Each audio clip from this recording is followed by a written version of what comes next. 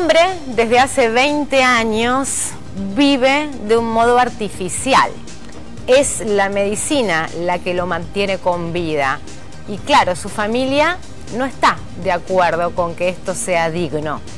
Se llevó el reclamo a la justicia y hoy la Corte Suprema, para ese caso en particular, accedió a que no se mantenga más la vida de este hombre artificialmente. Hay una ley de muerte digna sancionada en la Argentina y hablamos con su impulsor.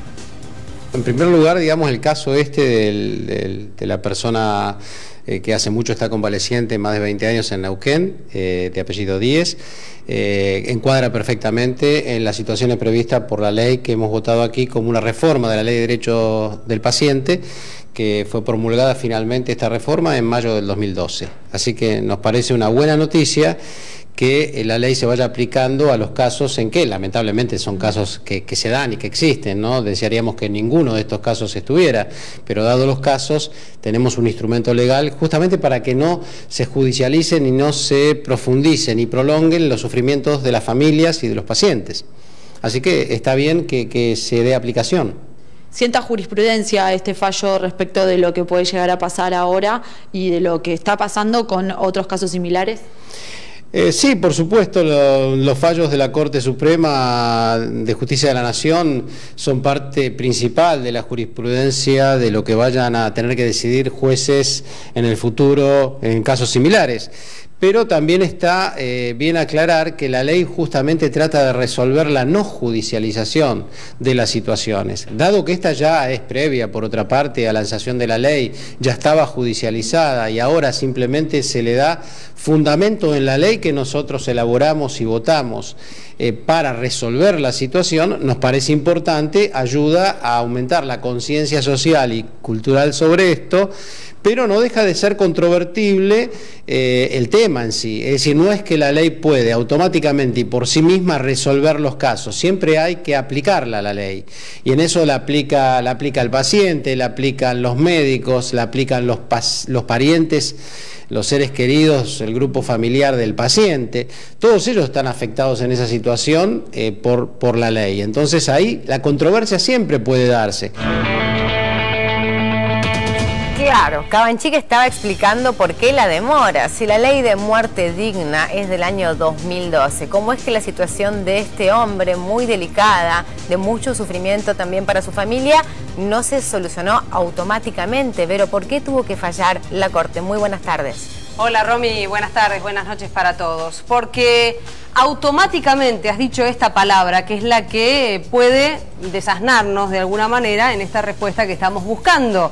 La ley no es automática, cada caso es particular, cada caso tiene que ser estudiado y obviamente es el máximo tribunal que se expide como es en este caso. No todo es blanco ni todo es negro y hay grises que hay que prestarle también eh, mucha atención porque hace 20 años este hombre está postrado allí en la provincia de Neuquén porque está postrado porque sufrió un accidente y porque además la relación médico-paciente se estableció, insisto, desde hace 20 años y la familia acompaña todo el tratamiento de esta persona, de este ser querido para ellos, que obviamente toman esta decisión. ¿Hablar primero con quién? ¿Con la justicia? No, con el médico.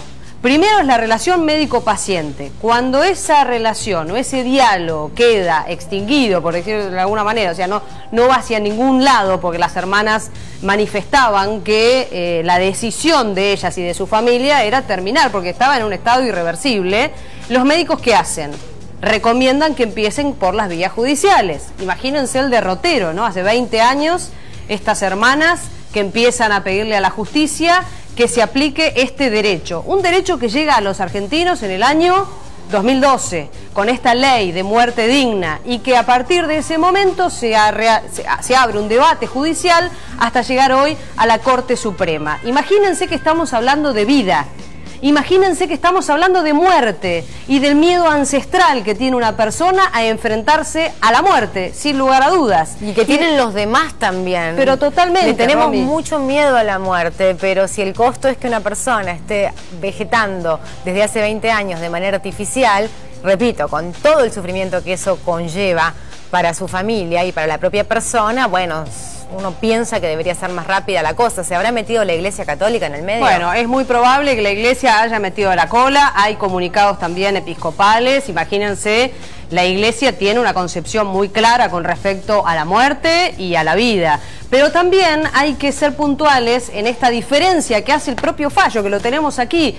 El fallo de la Corte, que además firmaron tres jueces y con algunas contradicciones se abstuvo Carlos Fait, esto también quiero resaltarlo, indica una clara diferencia entre, además como comunicadores tenemos que dar este mensaje, una cosa es la muerte digna y otra muy distinta es la eutanasia. Bien diferentes, haces muy bien en puntualizar esa diferencia. La Argentina no tiene una ley que autorice la eutanasia. Totalmente, estamos hablando de prácticas artificiales que a, través justamente de todo lo mecánico y de este, esta herramienta de la medicina, de mantener a una persona conectado a la vida, hace justamente que estemos haciendo este debate y esta diferencia entre eutanasia y la muerte digna. Miren lo que dice el fallo, me gusta leerles de manera textual lo que dice la Corte Suprema de Justicia y con estas personas que estamos viendo que son los representantes de nuestro máximo los tribunal. Supremos. Los Supremos.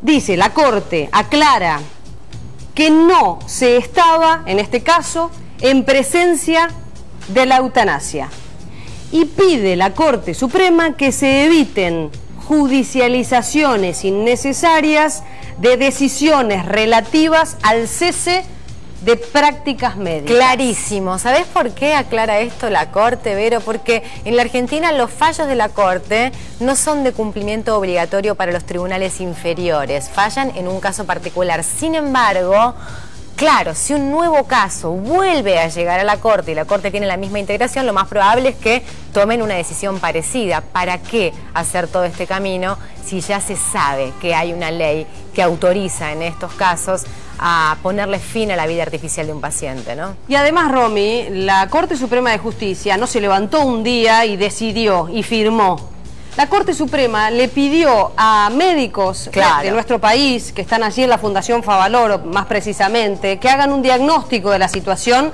de esta persona que por estas horas agoniza. Y lo que dijeron los médicos de la Fundación Favaloro es que el estado de este paciente es un estado irreversible y es un estado incurable. Esto deja eh, ese antecedente y por escrito lo hace la Fundación Favaloro. Y hay otro punto también de discusión.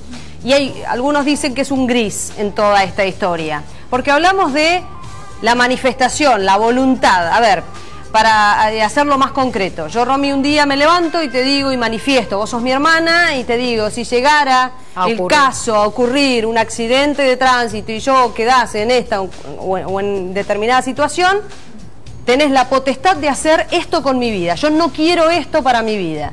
Esto muchas veces tiene que estar por escrito. Claro, porque si no, lo está, la familia. Claro, cuando no lo está por escrito y la ley lo dice exactamente, es en la ley del derecho del paciente. Tal cual. ¿no? Eh, que tiene que ser ejercida. Por eso también en este caso se respetó lo que las hermanas decían de ese paciente. Es un lindo tema, pero sin lugar a dudas esta es la noticia del día, es un hecho histórico para todos los argentinos. Muchas gracias, Vero. Cambiamos de